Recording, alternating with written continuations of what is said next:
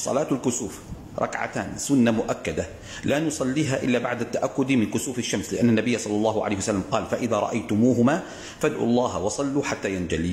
في كل ركعة قيامان وركوعان وقراءتان. بعد تكبيرة الإحرام نقرأ سورة الفاتحة وسورة طويلة. وبعد ذلك نركع ونطيل الركوع. ثم نعتدل ونقول سمع الله لمن حمده. ربنا ولك الحمد.